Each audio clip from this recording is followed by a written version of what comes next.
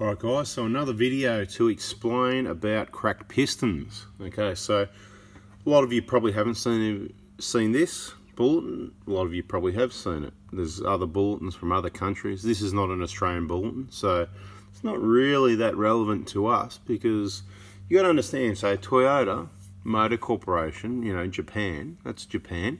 Then all the other countries, they're just subsidiaries, right? It's like a separate company, I reckon. They just do what they want, you know, like Australia. So, you know, profits always are put first. So it's not the Japan way. Look, I could be wrong, but this is the way I see it. Japan, Toyota Japan, they're like, you know, customer. Can't remember what, they've got a motto. You can Google it and tell me what it is. It's like, you know, it's along the lines of customer always comes first, you know, and they care about the customer sort of thing.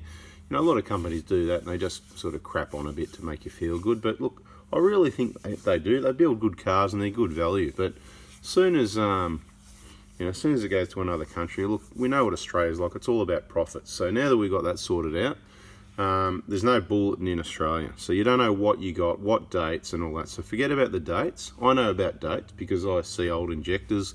Please, if you brought the injector kit, please send me back the old injectors so we can keep doing R&D to learn and help you guys out with information. So as far as we're concerned, you can prevent um, pistons from cracking. It's pretty well documented there right in front of you on that technical service bulletin. If you go down to production change, let's talk about that. Number one, improved injectors to prevent wrong combustion. Okay, that is basically telling you that wrong combustion is causing the cracked piston. Number two, they also say that piston shape has changed in order to be more robust. So we're making the piston stronger, that's great. So they had the 040s in the earlier engines, 1KDs, and you know, they'd crack with bad injectors and wrong combustion. Of course, and chips or tunes and stuff like that, because that's wrong combustion as well. But, you know, we won't go too much on that. We might get back to. We'll try and keep this one short.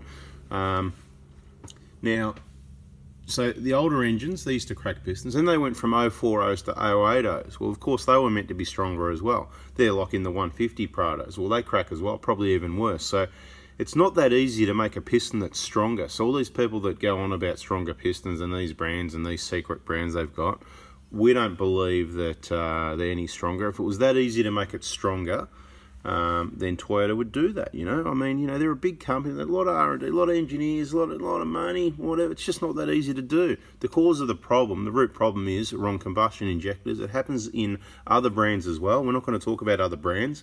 We're just specialised in 1KD, so that's what we're talking about here. We've picked the best engine. They're a tough, robust engine that's going to last a very long time. The best thing you can do is have fresh injectors there. Now, how fresh? You don't want to be changing injectors every two or three years like some people do, and I'll tell you, there is people that do that. Um, look, I do mine every 150,000 Ks. I like fresh injectors. I don't think it's a lot of money in, to invest, you know, a, a day's work and that to have a good reliable vehicle. The newer vehicles, a lot more technology problems, uh, bigger battery, EGRs and DPFs. Anyway, let's not go there. There it is, you can see it in writing, wrong combustion. Get a lot of people contact me with cracked pistons.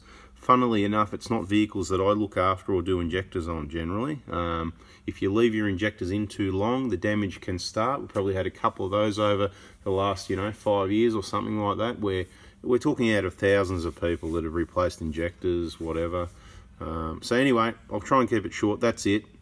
There you go. I hope that's helped you understand a bit about, yes, it is wrong combustion. There it is, basically documented, okay? So they're trying to make the piston stronger, but it doesn't mean it's going to solve the problem if you've got wrong combustion injectors not working right. And it's not just about readings. It's the readings will tell you if they're bad.